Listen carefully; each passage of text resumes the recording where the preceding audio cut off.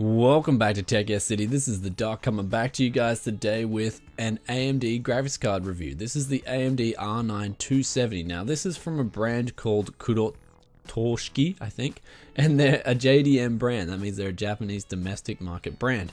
So you won't find them anywhere else in the world. Now, uh, when I first unboxed this thing, I was a little bit kind of um, surprised. I mean, it came boxed really light. Uh, there was absolutely, there was like no accessories included in the box. It was just pretty much a graphics card and a CD driver, and that was it. Um, picking up the card itself, it kind of felt a little bit lightweight. I mean, I thought the cooler could have definitely, you know, definitely after picking up this brand, I can see why it's cheaper. I mean, it was the cheapest R9 270 I can find. And I can definitely see why people prefer to go with Gigabyte or Asus models over this particular brand because the coolers are just heavier, they feel better built. Uh, not to say, I mean, this thing didn't feel too bad built. It doesn't rattle, it doesn't shake, it feels pretty solid, but it does have that feeling of um, a little bit of a cheap feeling to it. So that's something I didn't like about this particular uh, vendor.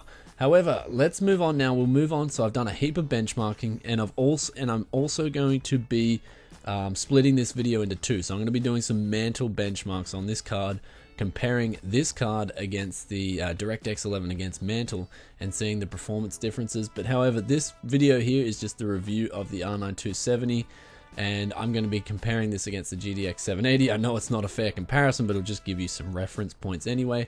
And also, one more thing before we jump onto the benchmarks is that the R9 270 and the R9 270X, there are um, not many differences. They're essentially the same graphics card, just the R9 270 is cheaper and it's clocked lower than an R9 270X. Now, an important thing that I noticed when I was overclocking, this was actually capped in the BIOS to um, 1.05 gigahertz or 1050 megahertz. So it had a cap in it. It didn't have any voltage unlocked controls, so I couldn't find any voltage unlocking controls in there. And yeah, that was, I guess that's the main difference. So if you want to get the maximum potential out of this card, you have to flash the BIOS. Uh, so anyway, let's move on with the benchmarks now. So, for gaming benchmarks, I just decided to quickly test two graphically intensive games. They are Battlefield 4 and Crysis 3. Now, both of these games are generally optimized for AMD graphics cards as well. So, uh, I tested the reference speeds here, and we're just going to look at the average because the average on Battlefield 4 single player was 65.84 uh, and then the average when I overclocked it was 72.88. Now that was actually pretty impressive. That, as you can see there, the overclock pretty much scaled. And what I had the overclock, I'll put the overclock and the reference clocks in the description below, but essentially the overclock was about 100 megahertz over the reference overclock uh, reference clocks. So the overclock scaled really well, and you're going to see this throughout this whole um, look at these at these scores. The reference 780 uh, Lightning, I've got them confused. Sorry, the 780 Lightning reference was 142.6 and when I overclocked it in Battlefield 3 it scored 153.2. Now for Crysis 3 when we move over to Crysis 3 we had on Ultra uh, one times SMAA enabled at 1080p we had 26.52 and also we had 30 uh, when we overclocked it. So again we can see that the overclock on this card scaled really well. It was actually good. I really liked. If you're going to get an R9 270 then definitely be overclocking this thing uh, as, as high as it can go. Now, when we looked at the uh, Crysis 3 for the NVIDIA reference, we had 60.24 and then we had 67.2. So again, the uh, GTX 780 was scaling as well and was a bit of a beast. And you're probably like, why did you show this? Well, I'm just showing you guys this is the other card I have to compare it to so you guys can get an idea of value for money. And this card, the R9 270, definitely does um, stack up as a very excellent value for money card. Now, keep in mind that Crysis 3 also, I mean, on Ultra, this thing is just a beast. So the fact that the R9 270 can do 30 FPS is actually really impressive. So that was actually good. If you scale these settings down to medium or high, you'll still have a really good experience at around 60 FPS. Now, I'm not going to really test 1440p because I think you should have a better graphics card if you want to game at 1440p. I'd say something like at least an R9 280X. Um, so uh, let's move on now to Unigine Valley because we've got a few different scores here. We've got the power consumption. Now when I tested this, uh, I'm also going to quickly say under idle, there wasn't much of a difference between this and the GTX 780. They both idled at around 110 watts on my overclocked 4670K at 4.6 gigs and it's also overclocked the RAMs overclocked to 2000 megahertz for these particular tests. Now we have here R9 270 reference. It was under load. It was drawing 326 watts. This is total uh, consumption. You got to remember this is total power consumption of my whole rig. Uh, under load, uh, when I overclocked it, it went up to 341 watts. This is under Unigine Valley Extreme HD. Uh, so there was about a 15 watt difference in power consumption, which actually wasn't, I mean, that 15 watts is damn worth it. So if you're a gamer, you should definitely, again, be overclocking this graphics card. An extra 15 watts for like an extra 10% performance was really impressive. Uh, same with the GTX 780, although the GTX 780 just started to actually chew a lot more power. I mean, it chewed a, an extra 50 watts over the reference um, speeds, which was actually pretty surprising. But I mean, again, that was a good extra almost 10% increase as well. So this has got kind of fair value in total power consumption of the rig when I'm gaming in uh, graphically intensive games. So definitely with the R9 270, you definitely do want to overclock it and get the max uh, FPS you can out of this card because it won't be usually it won't be using that much power. Let's move on now to Unigine Valley, uh, the scores. Okay, so this is obviously this benchmark is known to be NVIDIA favored benchmark, so don't be too worried. But I'm just giving you an idea mainly of the scores of the overclock settings here. So essentially we had um, Valley Extreme HD it scored a 1313 with uh, an average FPS of 31.4, and then when I overclocked it, it scored an average FPS of 34.2. So that was actually really impressive. Um, this the again the overclock scaled pretty much like in a straight linear line, which was actually really good, and it scored 1430 as well. So uh, as you can see here, that it, the overclock on this thing was nice and smooth. Uh, something to note about about the overclock though is I could only max it out at 1000, uh, 1050 megahertz, so it just wouldn't go over that. I think it's BIOS locked.